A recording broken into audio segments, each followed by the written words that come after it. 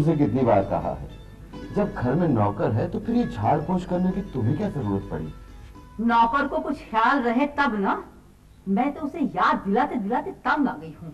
Line line line line line. अरे भाई ये लाइन लाइन लाइन लाइन क्या लगा रखी? मालिक मैं तो आजकल लाइन लगाकर थक गया हूँ। लगता है लोगों को आजकल दो ही काम रह गए हैं।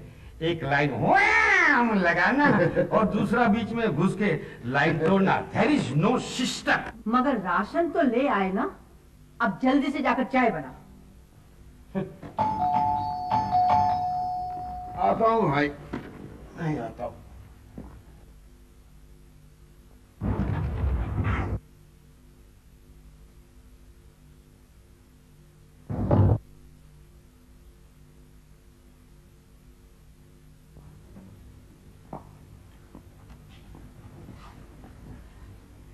चिट्ठी है। ज़रूर सुनील या अनीता की हो। टेलीफोन का बिल है शारदा। लो संभालो। दो बरस हो गए सुनील को शादी करके अमेरिका और अनिता को इंग्लैंड गए हुए पहले तो चिट्ठी भी जल्दी जल्दी लिखा करते थे। मगर अब तो जल्दी ना सही। मगर लिखते तो है ना। शारदा तुम्हें तो अपने बच्चों को नाज होना चाहिए। आजकल के जमाने में चिट्ठी वगैरह लिखने का वक्त ही कहाँ है इंसान के पास? क्या करूँ? माँ हूँ ना मुझे तो फिर भी इंतज़ार रहता है। जब से बच्चे गए हैं ये घर बिल्कुल सोना लगता है। शारदा बहुत दिनों से मेरे दिमाग में एक बात आ रही है। क्यों ना हम कोई पेइंग गेस्ट रख ले? पेइंग गेस्ट हाँ। क्यों? पेइंग गेस्ट की हमें क्या ज़रूरत है? हमारे पास तो भगवान का दिया सब कुछ अरे मैं पैसों के लिए नहीं मैं तो इसलिए कह रहा हूँ कि घर में चहल पहल हो जाएगी और हमारा दिल भी लग जाएगा। मेरा ख्याल है आप ठीक ही कहते हैं। गलत। बिल्कुल गलत। जब हम तीनों इस घर में खुश हैं तो किसी चौथे को यहाँ बुलाकर आप इस सोमनाथ का शनिवार क्यों बना देना चाहते हैं? चुप रहो सोमनाथ। हमने तुमसे सलाह नहीं मांगी। देर इज़ नो सिस्टम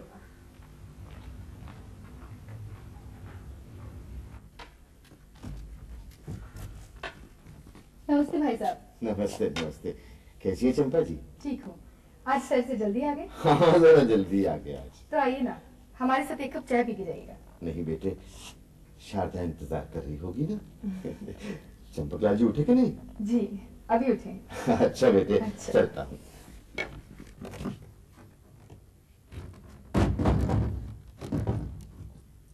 अरे अभी अभी तो आपको बेडरूम से उठाया है। आप यहाँ आके सो गए। ओ चंपा डार्लिंग मेरा चाय का कप कहाँ है? तुम्हें तो मालूम है कि मैं सुबह सुबह चाय पीने का आती हूँ आप पहले उठिए तो लाती हूँ। Thank you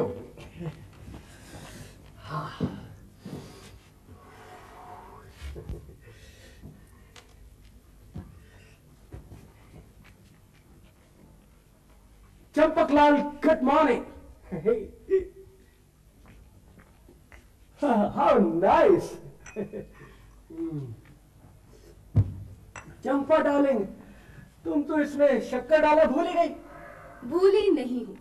घर में शक्कर का एक दाना भी नहीं है। तो बाज़ार से मंगवा लो। बाज़ार से लाने के लिए पैसे चाहिए। ये सब तुम्हारा कसूर है। अगर तुमने मुझे पहले बताया होता तो मैं इसका इंतज़ाम कर लेता। शक्कर का ना? हाँ। ये इंतज़ाम करने से अच्छा तुम नौकरी क्यों नहीं कर लेते? नौकरी? हाउ सिली नौकरी करना मेरे उसूलों के खिलाफ है। मैं चंपक लाल कभी किसी के अंडर काम नहीं कर सकता समझी? हं, ये मेरी बात नहीं समझेगी। My wife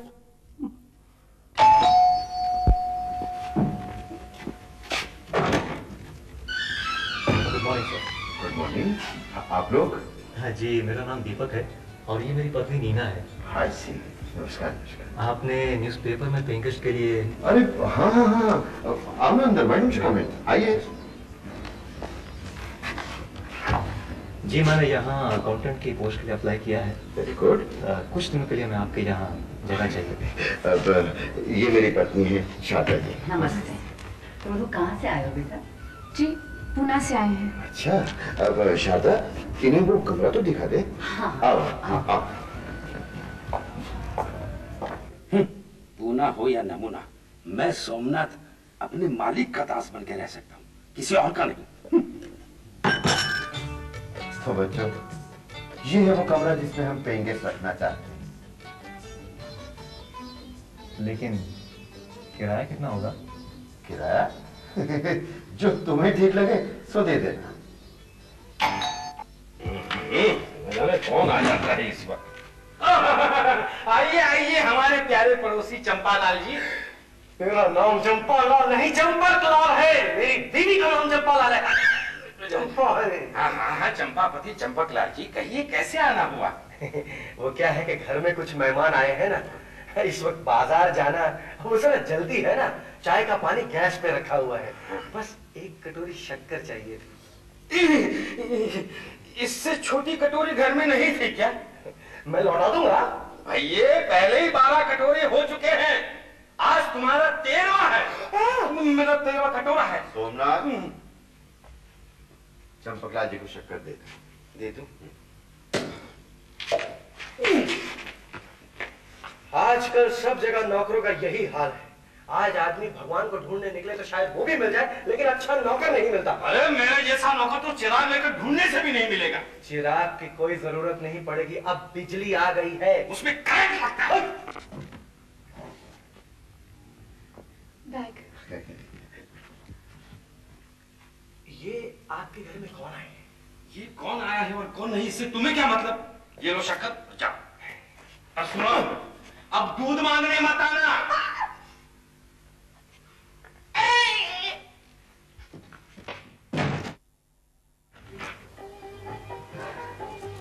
शारदा हाँ। कहाँ गई थी?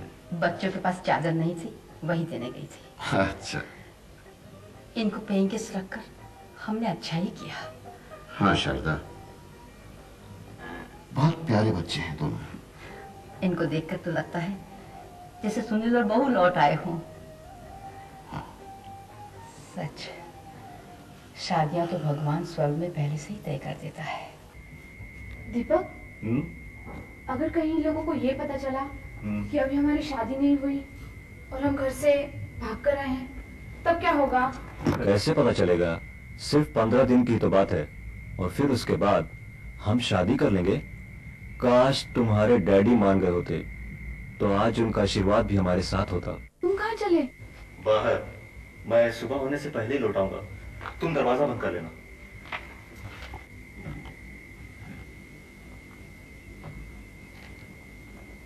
Huh?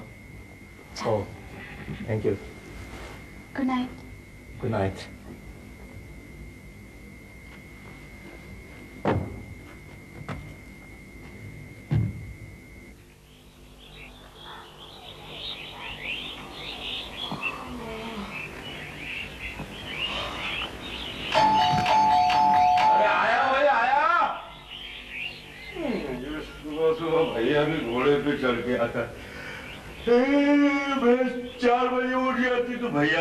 बजे उठ जाते हैं भैंस तीन बजे उठ जाती तो भैया भी तीन बजे उठ जाता है।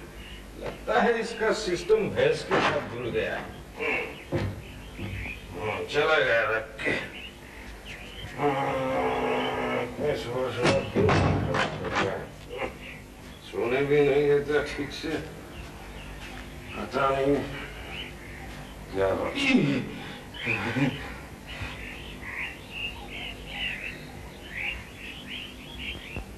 मालिक की चादर है।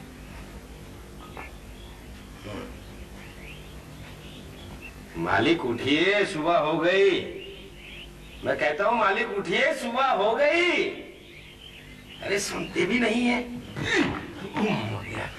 देर इज़ नो सिस्टम मैं भी मालकिन को जाके कहता हूँ।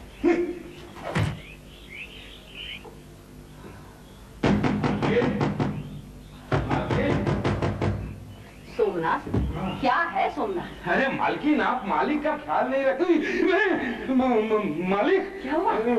आप अभी अभी तो नीचे सो रहे थे इतनी जल्दी ऊपर कैसे आ गए? क्या? हम्म, मैं नीचे सो रहा था? क्या हो गया सोमनाथ? मैं तो अपने कमरे में यहाँ सो रहा था। अरे मालिक आप अभी भी नीचे सो रहे हैं। आइए मैं आपको दिखाता हूँ। चल भाई। तो पागल हो जाऊँगा। सोमनाथ का भी जवाब नहीं आइए मैं सुबह सुबह कभी झूठ नहीं बोलता।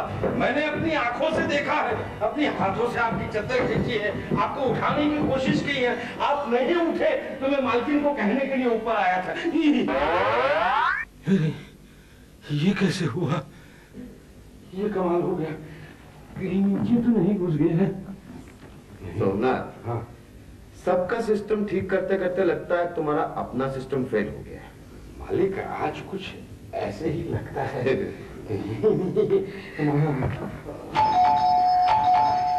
मैं मैं मैं मैं खोलूं, मैं खोलूं। प्रोफेसर साहब! प्रोफेसर साहब! प्रोफेसर साहब प्रोफेसर साहब प्रोफेसर साहब चंपकलाल जी आप तो ऐसे भागे चले आ रहे हैं जैसे आसमान सर पे गिर गया हो। आसमान तो नहीं गिरा लेकिन पैरों के तले से ज़मीन ज़रूर खसक गई अरे भाई हुआ क्या है? ये देखिए।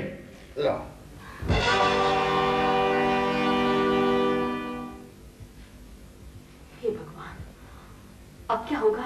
अजी होना क्या है? हम दोनों पचास हज़ार में बराबर के हिस्सेदार हो गए। बस आप दरवाज़ा बंद रखिए मैं पुलिस को लेकर आता हूँ। रुकिए रुकिए चटपकला जी। देखिए ना कितने मासूम बच्चे हैं। ज़रूर उनके सामने कोई मजबूरी नहीं होगी। अजी उनकी मजबूरी अपनी उम्र भर की मजदूरी बन गई वो भी बिना मेहनत के। चंपकलाल जी कोई भी फैसला जल्दबाजी में नहीं किया करते। हर कदम उठाने से पहले पूरी तरह सोच लेना चाहिए ठीक है मैं आपको तीन घंटे का समय देता हूँ आप फैसला कर लीजिए मैंने फैसला कर लिया है देखा मालिक मैंने कहा था कि मुझे दो- उन दोनों को बाहर बुलाओ ठीक है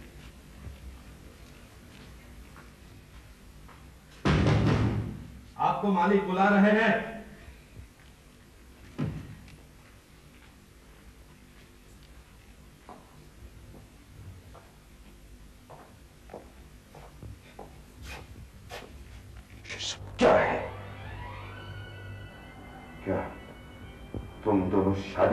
तुमने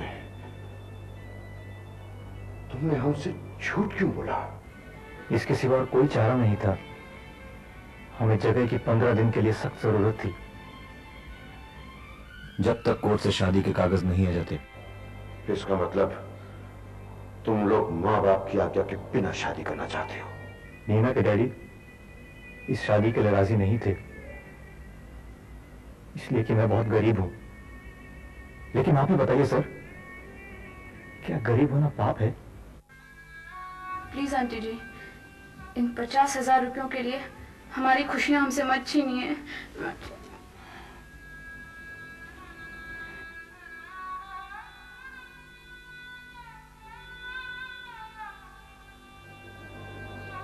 क्या? रात को तुम यहाँ बाहर सोफे पर सोए थे? जी। ठीक है। तुम दोनों अंदर जाओ।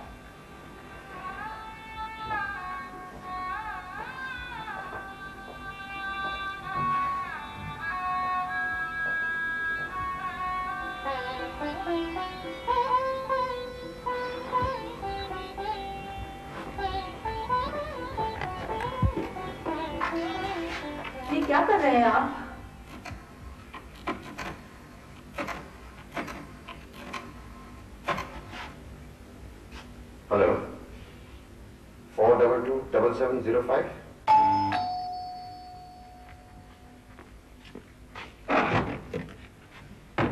hi Taneja telephone आपने किया था? नमस्कार जी। जी हाँ टेलीफोन तो मैंने ही किया था। आइए ना पर आप बाहर क्यों खड़े हैं? आइए प्लीज़ आइए। आइए। बैठिए। ये रही इनाम की रकम। बताइए हमारी बेटी का है?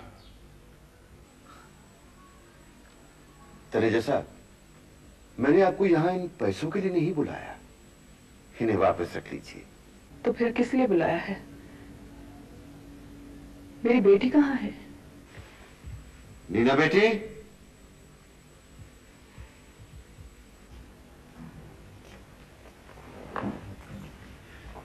मीना मीना मेरी बच्ची चल घर चल नहीं मम्मी मीना तुम सीधी तरीके से घर चलोगी या नहीं? तेरे साहब आप खामोश रहिए ये मेरी बेटी। ये मेरा घर है। तेरे साहब क्या आप अपनी बेटी की शादी इस लड़के से सिर्फ़ इसलिए नहीं करना चाहते क्योंकि लड़का गरीब है? हाँ इसकी और हमारी हैसियत में बहुत फ़र्क है। तेरे साहब आप बहुत अमीर हैं ना? क्या मतलब? मतलब ये इतनी सारी दौलत ये आपकी अपनी कमाई हुई है या पुरखों की दी हुई माफ़ करना I am a self made man हो हो। इसका मतलब कभी आप भी गरीब थे। तनेजा साहब एक लड़का वो जो अमीर घर में पैदा हुआ अमीर घर में पला जिसे अपने माँ बाप से बेशुमार दौलत मिली ऐशो आराम मिले। चला चलाया काम मिला। और एक लड़का ये, दीपक, जिसे विरासत के रूप में अगर कुछ मिला है तो वो सिर्फ़ साफ़ चरित्र, सच्चे संस्कार और शराफत। अपनी बेटी के लिए इन दोनों में से आप किसे पसंद करेंगे? लेकिन आप कैसे कह सकते हैं कि लड़का शरीफ है? धनजय साहब अगर ये लड़का शरीफ ना होता तो रात भर बाहर सोफे पे न सोया होता।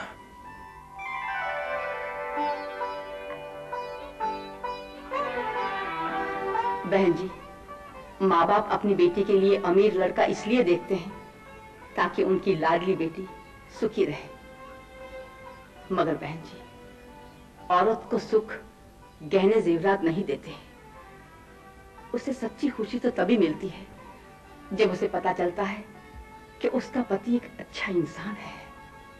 आप ठीक कहती है बहन जी। सुनिए। बच्चों को माफ़ कर दीजिए ना। धनजय साहब बच्चों को आशीर्वाद दे दीजिए।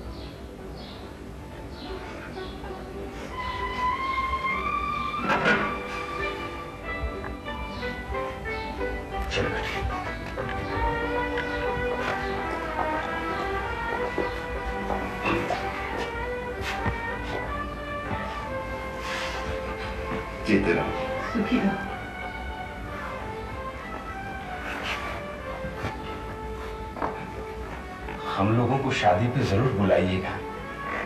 सेठ लोग तो बहुत कुछ देंगे। हम तो बस आशीर्वाद देंगे।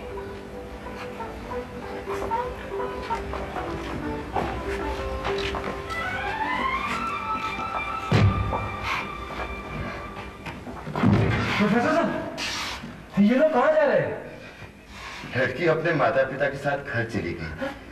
वो इन दोनों की शादी के लिए राज़ी हो गए हैं। लेकिन मेरे पचास हज़ार के इनाम को क्या हुआ?